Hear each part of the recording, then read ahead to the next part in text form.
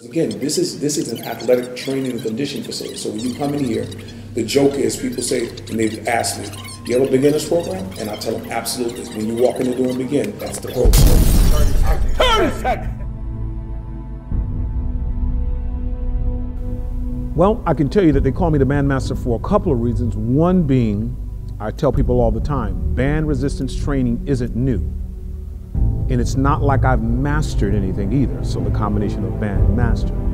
But the reality of it is, is that what I do with the bands is significantly, the word I constantly use, different from anything anybody has seen, and that's both here and even when I've been uh, traveling internationally. And so people feel you always lead from the front, and I guess he's the leader in the forefront when it comes to utilizing bands for training.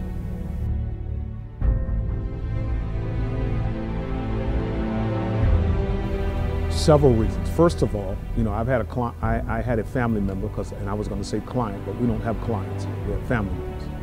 And uh, she suffered a, a full-blown torn Achilles. Walking on a boot in eight months, eight weeks, excuse me.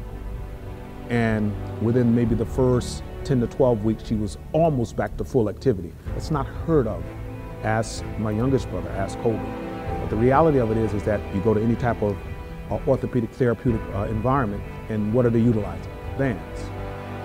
Strengthening tendon and ligaments, less pressure on the joints, better blood circulation, a different effect neurologically, and that's where most of the things happen when you talk about training and conditioning, no matter what you're utilizing, whether it's weights, bands, uh, plyo boxes, and all the other things that we use, kettlebells, whatever else we use in the fitness industry.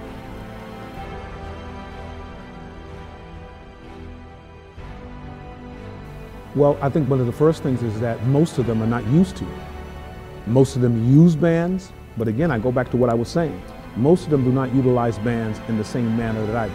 I can take bands and incorporate it into any type of workout, whether it's utilizing it with free weights in the gym, whether it's cardio equipment, whether it's loose dumbbells, and again, one of the things is that they're, they're not familiar with utilizing band resistance. I've had athletes, boxers, basketball players who have said, oh yeah, you know, my trainer or former trainer, or I've utilized bands. When they go through a session, most of them, if not all of them, will tell you, not like, not that. like that. So it makes them effective from a lot of different areas. The agility, flexibility, mobility, all those different things are very, very important.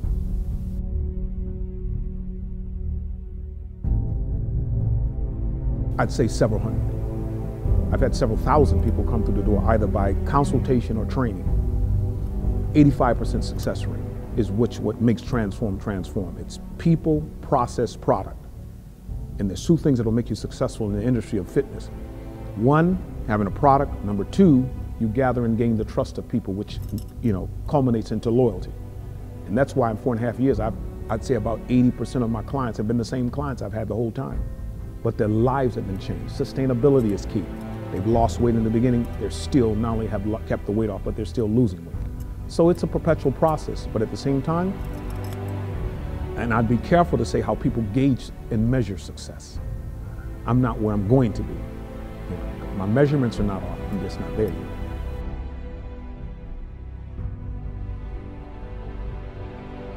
One, I'll start with, it's all about the initial consultation, the initial in, uh, interaction with the person. Because more than just uh, pounds and inches, I'm about mind and spirit. You can lose 20 pounds and still be the same broken person, which makes it cyclical. And you've seen the people yo-yo and go up and down, and then they resort to things that are surgical and synthetic. But what makes Transform, again, different, we don't have clients, we have family, but at the same time, the power of the mind. Once you capture, capture someone's mind, 90% of this process is, is psychological. The rest of it, they'll run through a wall for you. That's as being a former Marine. I was in basic training, the drill instructor that's 36 years ago said, I will remember uh, basic training Island like it was yesterday. That's because in basic training, it's more than the physical, more than the pull-ups, more than climbing the rope. more than Elliott's Beach. It's about the transformation of the mind, even as the word speaks it.